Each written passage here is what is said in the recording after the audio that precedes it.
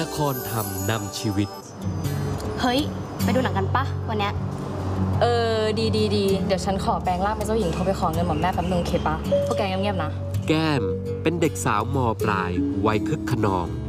ถึงเธอจะเป็นเด็กดีในสายตาแม่ ฮัลโหลคุณแม่คะแต่ในความเป็นจริงแล้ว เธอไม่ได้เป็นเช่นนั้น ก็คุณครูนะสิคะให้ส่งรายงานวันพรุ่งนี้ ถ้าแก้มทำไม่เสร็จอะแก้มก็ต้องกลับไปทำที่บ้านเพื่อนนะคะ คุณแม่พอจะโอนเงินให้แก้มสักห้าร้อยได้ไหมคะ ขอบคุณคุณแม่มากนะคะ ตายค่ะ โห แกเนี่ยรางวัลตุ๊กตาทองเลยนะ แหม อิจฉาแกอะบ้านรวยแม่ตามใจ ขออะไรก็ได้ไปหมดเลย ก็ไม่รู้สินะ เฮ้ย แกนั่นมันพี่ยุทธปะวะ คนที่แกชอบอะเด้อใครวะฉันขอไปทักทายยานั่งก่อนนะ เฮ้ย แกกล้าดีไงไปเด็กพี่ยุทธอะแก้มไม่ใช่อย่างนั้นใจเย็นๆพูดกันก่อนแกไม่มีอะไรทั้งนั้นอะอย่างนี้ไม่ต้องตอบสั่งสอนเฮ้ยอยาอยาพวกแกมาช่วยดิ โอ้ยทำไมเป็นแบบนี้ไม่ได้วะแก แหม เป็นนักกีฬาวอลเลย์บอลก็ไม่บอกตบเอาตบเอา พวกแกไม่ต้องไปกลัวมัน เดี๋ยวแม่ฉันก็มาแล้ว ฉันจะเอาเรื่องมันให้ถึงที่สุด นี่ไง พูดถึงแม่ฉันก็มาเลย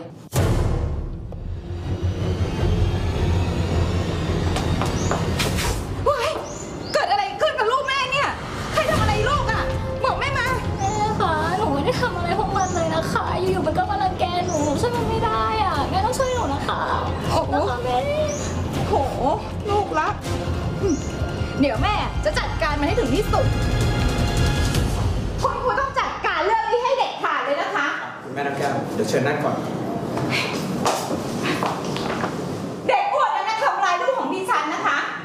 ดูสิคะ ลูกดิฉันเนี่ยไม่มีทางสู้ อยู่บ้านก็เป็นเด็กดี ดิฉันไม่ยอมนะคะเรื่องนี้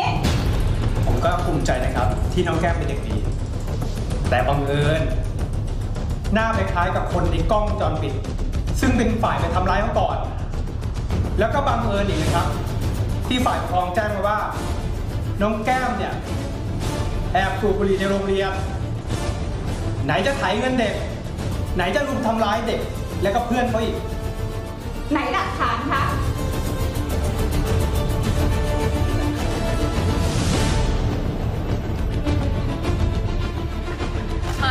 แกกล้าดีไงไปเด็กพี่ยุทธอะ แก้มไม่ใช่อย่างนั้นใจเย็นๆพูดกันก่อนแกไม่มีอะไรทั้งนั้นอะ อย่างนี้ไม่ต้องตอบสั่งสอนเฮ้ยอยาอยาพวกแกมาช่วยดิเด็กแก้มโดนมีเรื่องต้องคุยกันกลับบ้านเดี๋ยวนี้